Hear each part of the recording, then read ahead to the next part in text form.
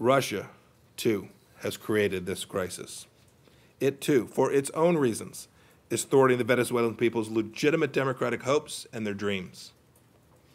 Moscow, like Havana, continues to provide political cover to Maduro regime while pressuring countries to disregard the democratic legitimacy of the interim president Guaido.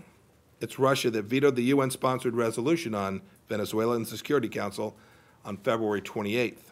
The Kremlin is standing with its Venezuelan cronies against the will of the people of a sovereign nation to protect a Moscow friendly regime.